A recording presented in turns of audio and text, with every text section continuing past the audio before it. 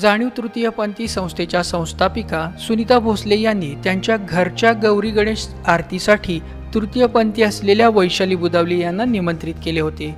सातारा शहरातील तृतीयपंथीयांसाठी कार्यरत असलेल्या जाणीव संस्थेच्या माध्यमातून तृतीयपंथीयांना समाजाच्या प्रवाहात आणण्याचे अनेक उपक्रम राबविले जातात.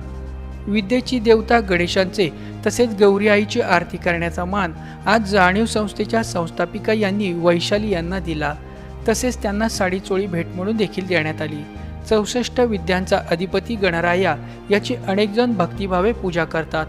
शहरात विविध मंडळांमध्ये समाजातील प्रतिष्ठित व्यावसायिक शासकीय अधिकारी मान्यवरांना गणेशाच्या आरतीसाठी बोलावण्यात येते.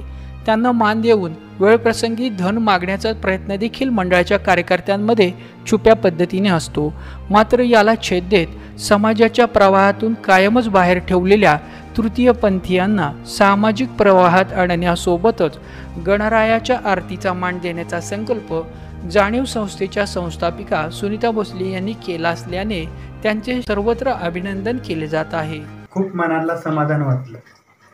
संस्थेची मम्मी आहे ती. त्यांनी मला आरतीला बोलवलं. त्यांची खूप खूप आभारी आहे. समाजात आम्हाला कोण मान देत तरी पण आमची जाणीव संस्था आहे ना ही सगळ्यांना जाणीव करून देण्याची मदत करतात. आम्हाला प्रेम द्यावं आणि सगळ्यांनी आम्हाला माणसात आणावं. Video journalist Gurunath Jadhav seven star news channel Satara.